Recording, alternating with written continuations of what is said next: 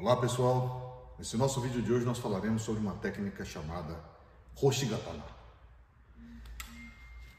Em geral consiste em como nós apoiamos ou posicionamos a katana no momento do disparo de um shuriken quando ela está posicionada na cintura, no quadril. Né? Existem três formas básicas. Aqui nós falaremos da primeira. A primeira técnica nós dispararemos com a mão direita e a mão esquerda levemente com o antebraço, ela vai colocar a katana na parte de trás e apoiar para que ofereça, além do equilíbrio, uma condição de um disparo sem uma algo que incomode, né? que dificulte. Ok? Então, seria isso.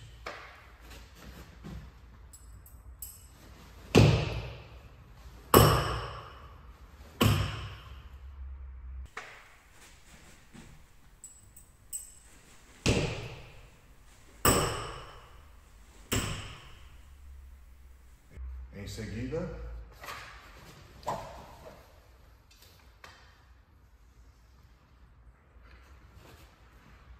se você revisar, olha só. Vem. Nós podemos ver que nós conseguimos um equilíbrio e um disparo satisfatório mesmo com a katana na cintura. Talvez você deva experimentar para ver como muda o equilíbrio do corpo, como mudam as posições. Eu vou disparar agora em outras posturas para que você possa ver a importância dessa técnica.